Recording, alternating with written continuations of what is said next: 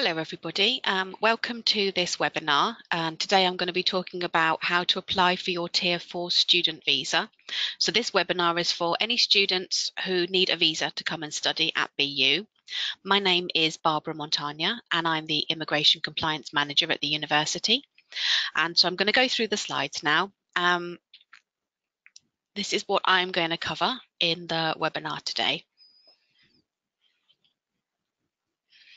Just waiting a minute for my screen to respond to my clicking.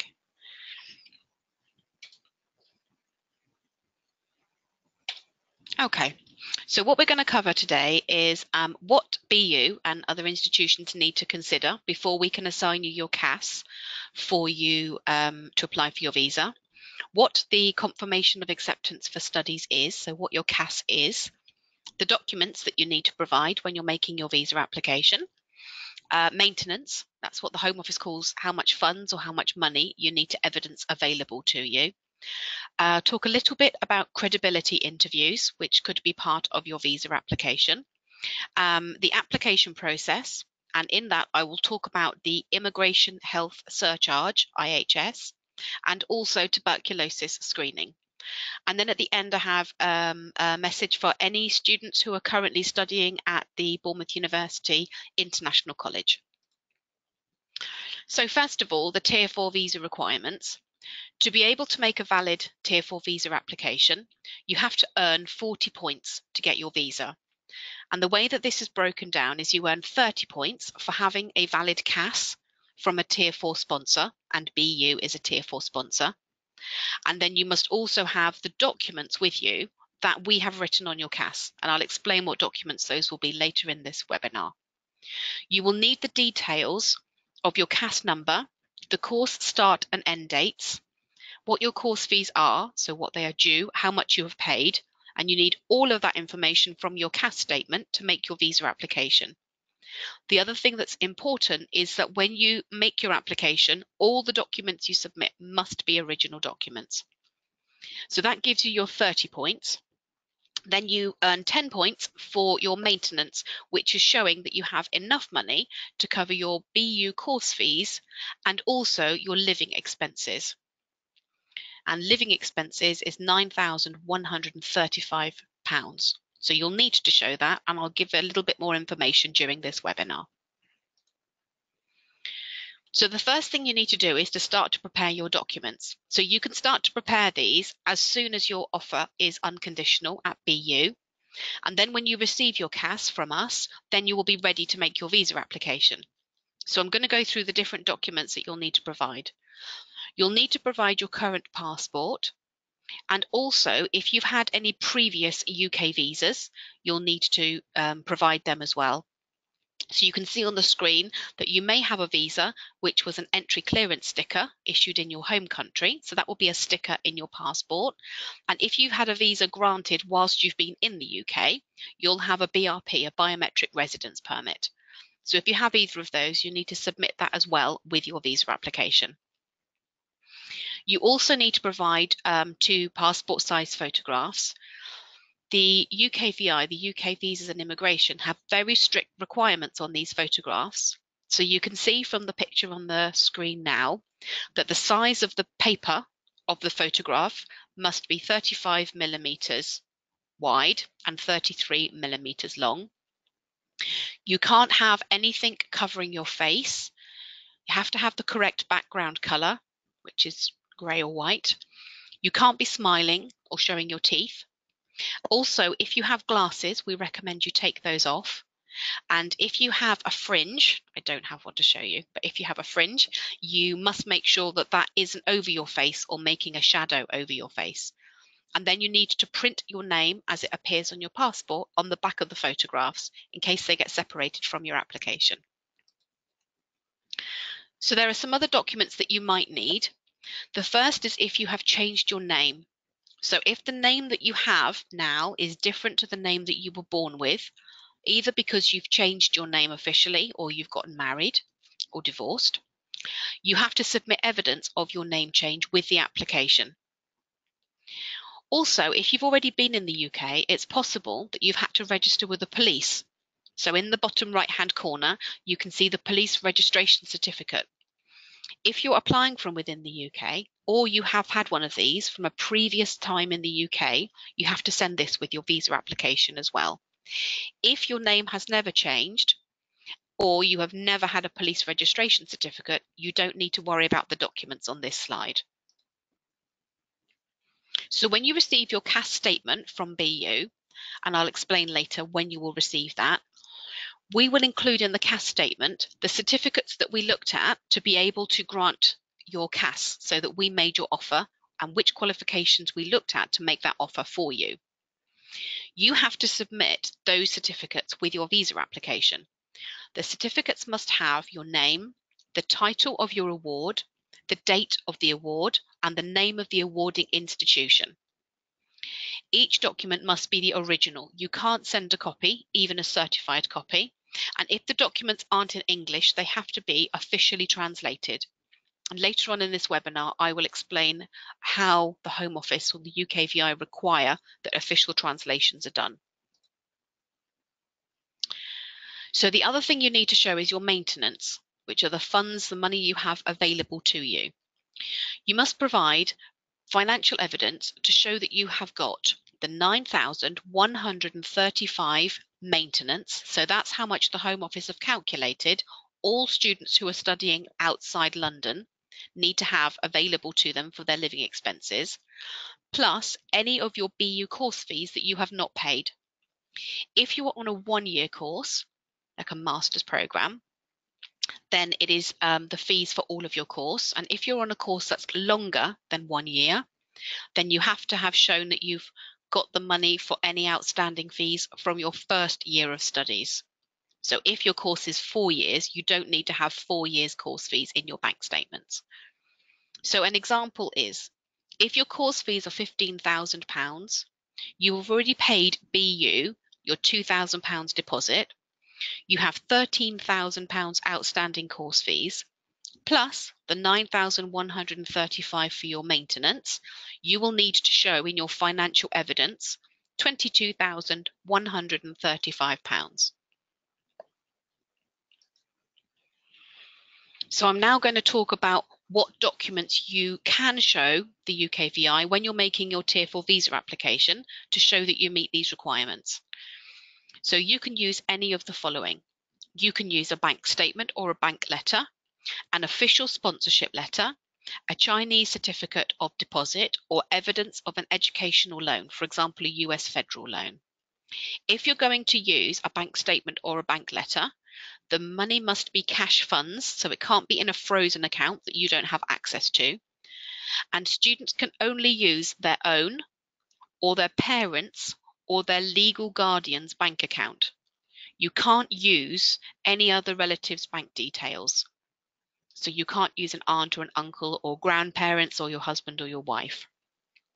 The funds must be in the account for at least 28 days and you must be able to evidence on the document that it's been there for 28 days before you make your visa application. And you can use an overseas account or a UK bank account or a combination of both of them that's not a problem. The most recent date that you used your funds, so the last transaction, must be no longer than 31 days before you make your visa application. So if you've not made any transactions in your bank account, for example, for the last month, you must make a transaction and then get a new bank statement before you use this bank statement with your visa application. All of your financial documents must include your name, your account number if you're using a bank account, the date of the financial document, so the date it was created, the financial institution's name and logo if it's a bank, and the amount of money available to you. If you're using bank statements through internet banking and you've printed them off yourself, you need to take the printout to your branch of your bank and have each page stamped by your bank even if there are any pages towards the end that don't have any transactions. Any documents you're going to send must be stamped on each page. That is if you're doing internet banking and you're printing out your bank statements. If you want to use your parents' bank account, you need to have a parent's bank statement meeting the same requirements in the slide before, or a letter from their bank. You must have a letter of consent from your parent for them giving permission for the money in their bank account to be used for your visa application and your course fees and your living expenses. You must provide your original birth certificate. This is to prove the legal relationship between you and your parents. And if the birth certificate is not in English or any of the other documents, they must also be officially translated. You can use this as a template letter if you are using your parents' bank statements, you can use this template and complete it for your parents, but then you'll need to give it to them printed and it will need their signature. So this is a letter that you can edit if you're going to use your parents' bank statements or bank letter, as well as your birth certificate. This is an example of the letter of consent that meets the UKVI requirements for your visa. You could provide evidence from an official financial sponsor so um, the UKVI have given a definition of what they believe to be an official sponsor. So that could be your government, a UK government, the British Council, or any international organisation or international company, or your university. The letter from the financial sponsor must include your name, the name and the contact details of somebody within your financial sponsor, the date of the letter, how long they are sponsoring you for. So that should be for the duration of your BU course and the amount of money that they are sponsoring you for, or they must put a statement if they're going to cover all of your course fees and all of your living costs. They must explicitly state that in the letter. If, for example, your financial sponsor is only going to be sponsoring you for your BU course fees, in addition to the official financial sponsor letter, you will also need to show other financial evidence, like your bank statements, to show that you have enough money for your, B, uh, for your living expenses during your course. If your financial sponsor is either a government or a large organisation, they will have a template letter that they use. However, if your official sponsor has not provided this type of letter before for a UK Tier 4 visa, you can give them this as a template for them to use, and the wording in this template letter meets all of the requirements for a Tier 4 visa. Again, the letter must be in English. If it's not in English, it must be officially translated. For a scholarship or an educational loan, the big difference is that you don't need to show that you've had the money available to you for 28 days. If you receive a BU scholarship, we will write that in your CAS and you won't need to provide any more financial information. If you receive an external scholarship, maybe from um, the British Council or from your university, you will need to provide evidence of this with your visa application. So evidence confirming the sponsorship and how much it is for. If you have an educational loan, for example, the US federal loans, you will need to provide evidence of this loan with your visa application. If you are a US student applying for a federal loan, um, you will, can make contact with the Federal Loans Department at the university. The email address is fedloans at bournemouth.ac.uk. And once we've had confirmation that your offer is unconditional, then we will post you a letter that you can use to prove these um, US federal loans. If the scholarship or the educational loan does not cover all of your BU course fees and all the living expenses, you will need to provide your own bank statements for 28 days to show that you have the rest of the required funds. So now I'm going to talk about preparation for credibility interviews. As part of your Tier 4 visa application, whether you're applying in the UK or overseas, you may be interviewed to confirm that you are a genuine student. You should pre prepare fully for this interview.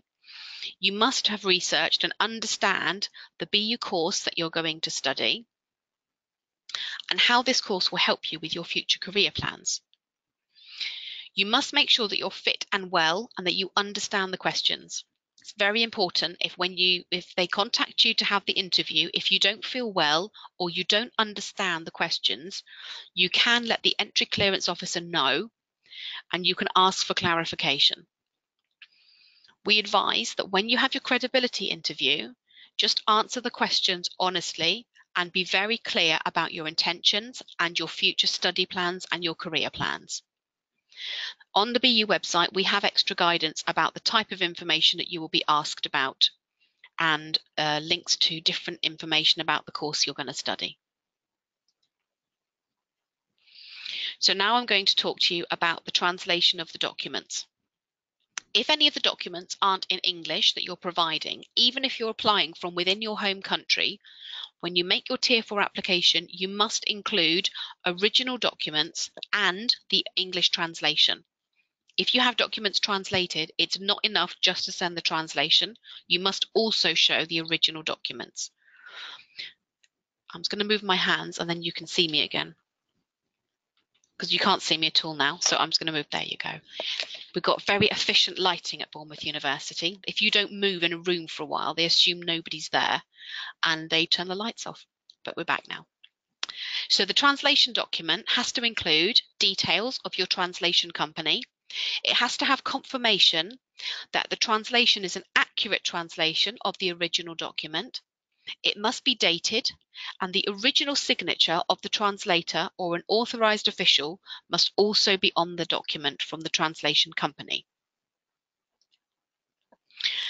So now I'm going to talk about the CAS and how and when you will receive your CAS. So BU will start to create your CAS from the end of June, so from the end of this month. The reason that we don't create the CAS any earlier is that students are not allowed to make their Tier 4 visa application any sooner than three months before the start of the course. So because your course will start in the middle of September, we will start to create the CASs from the middle of June. If you try to make a visa application earlier than three months before the start of your course, even if you have all the valid documents, your visa application will be refused. For us to create your CAS and to be able to send you your CAS statement by email, you must have accepted your unconditional offer and if your course requires that you pay a deposit, you must have paid this. On the day that we start creating CAS, if you have already met these conditions, we will start to create the CAS and send it to you. But once you meet these conditions, it should be five working days before you receive your CAS. So please make sure that you keep checking the email address that you used on your BU application because that's how we will send the CAS statement to you. So I'm going to give you a little bit of information about what you're going to receive when you get your CAS statement by email. It's not a physical document. When we create the CAS, we create it online on the UKVI website and we summarize that information and email it to you. So you do not need to print off this CAS statement and submit it with your application. It's to allow you and to help you complete your Tier 4 application form. The first thing you'll see is that there are four attachments in this email. The first one is helping you to calculate how much you need to pay for the immigration health surcharge, which I shall talk about. Then there is also a bank statement checklist to help you check your bank statements to see that they meet the requirements before you make your application. The document checklist, so you can tick off and make sure you have all the required documents. And also a document to help you calculate how much money you must have available to you in your bank account or with other funds. So on this first page, you can see that there are two arrows. The first arrow has Bournemouth University sponsor license number. You must put this on your application. And the second arrow is your CAS number. So this is your unique reference number, which is a CAS for your Bournemouth University course. So when you apply, it will ask for your CAS number. You can't make your application without the CAS number. And then this second page has another two sections that are important. The first is your course fees paid. So when you receive your CAS statement, it's very important, first of all, to check all the details that we've created, to check your name, your date of birth, your nationality, that we've not made any mistakes, including your passport number. But also, here you'll see where we have noted the course fees you've paid. So if by the time you make your visa application, you have paid more course fees than we've noted on your CAS statement, you must reply to the CAS statement email so that we can update your CAS with the UKVI. So the Home Office will expect to see any outstanding course fees that haven't been noted on the CAS. And then the bottom arrow in this section is the evidence used for your offer. So this is where you will see which certificates we looked at and which qualifications to offer you the place on your BU course. So all the certificates that we have noted here, you must provide the originals and if not in English, the official translation of these certificates. So this is how you can find some links to the application forms. If you're applying from within the UK, the link and the top line is a link to the form itself, and you have three ways of making an application. Most students make a postal application, which is 448, or you can do a priority application where you post your documents, but the UKVI make the decision faster, or you can go in person and have a premium appointment where you submit the documents on the day and the decision is made on the same day. If you're applying within the UK, it's only possible to pay by credit or debit card. If you're applying from outside the UK, the second link in blue has the link to the application form and the cost of making your visa application, the visa application fee, will vary depending on which country you are applying from. If you're not sure where your nearest visa application centre is, you can click on the blue link at the bottom and you can search on your country and it will show all the different places that you can make your visa application. So now I'm going to talk about the immigration health surcharge, the IHS payment. So in addition to making your tier 4 visa application fee, when you're going through the online visa application form, you must also pay the immigration health surcharge. This is not optional. You must pay it even if you're taking out your own private medical insurance. And it will be calculated for you during your application. So here is an example of how much it will cost. If you're on a, four-year undergraduate course, you will need to pay £675. If you're on a postgraduate two-year course, you'll need to pay 375 if you're on a postgraduate one-year course, you will need 225. So this gives you an idea with the IHS fees as they are at the moment. Um, but when you go through your Tier 4 application, it will calculate it for you. You need to pay that before you can submit your full Tier 4 application. It's one of the screens that you have to go through. And as I said, it's not optional to pay. I'm going to talk now about TB or tuberculosis screening. So applicants from certain countries need to have TB screening before they can enter the UK. So you must have the screening before you make your visa application. If you are a national of one of these countries, it's an extra document that you must provide with your visa application and it will be refused if you don't provide it. To find out if this applies to your country and your situation, the blue link at the bottom is a link where you can search on the countries and the circumstances where you will need to have TB screening.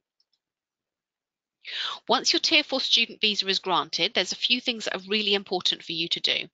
The first is that you should check your visa and make sure that there are no mistakes. If you note that there are mistakes before you travel to the UK, either with your name, your personal details, the length of your visa, or the conditions of your visa, maybe, for example, the work conditions, you should try to get this corrected before you travel to the UK. If you realise these mistakes after you've travelled to the UK, it's really important that as soon as you arrive at BU, you visit us at Ask BU, which is our Student Services Department, and we will be able to give you advice on how to have it corrected. The visa issued in your passport, if you're applying from outside the UK, will only be valid for 30 days, and you will see the start and the end date on your the visa sticker in your passport. If you are not able to travel to the UK within those 30 days, you will need to apply again for a new 30 day visa. You'll also receive a letter with a 30 day visa, and you must carry that letter with you in your hand luggage. And then once you arrive in the UK, you'll receive instructions in that letter about how to collect your biometric residence permit, your BRP. So we're near the end of this webinar. I'm just going to explain a few useful websites for you. So first of all, on the BU website, the first link under Bournemouth University has our immigration pages, which gives you advice about um, visas and immigration. The second page under Bournemouth University gives some information about the credibility interviews and the kind of things that you might be asked by the entry clearance officer. The next section is the Home Office, the UKVI. So the first link under Home Office is uh, information and the application for the Tier 4 General Visa and the Tier 4 Policy Guidance. And the bottom section is UKCISA, the UK Council for International Student Affairs. They're an organisation that work between universities and the UKVI, and they have a lot of very helpful, very clearly written guidance and advice for international students coming to study in the UK. This is a message or separately if you are a student who is or is going to study at the Bournemouth University International College. Before you complete your course, we will work with uh, the International College and run a workshop to help and explain the documents you need to prepare for your visa application. And then when you have passed your course at the International College, we will book an appointment for us to check your documents before you send them to the Home Office for your Tier 4 visa application. So I'm coming to near the end of the webinar. Um, these are some really helpful links that you can click on to get some more information and to answer any of your other questions. So first is to meet BU in your country. This is on the left hand side under contact us. You can see representatives that will be coming to visit your country. Local contacts, so representatives that may be in your country. Online seminars and chats, you could look for online events. If you're in the UK, there is a link to our open days where you can come and have a look around our campus. Fees and funding if you're an undergraduate student and have any funding questions. And also course information. This is where you get more details about the units and the modules on your course. And then if you want to have specific information for international students, on the right hand side, there is the international page. And if you have any questions after watching this webinar, you can email the International Admissions team and their email address is internationaladmissions at bournemouth.ac.uk. I hope you found this webinar useful and please do contact us if you have any further questions.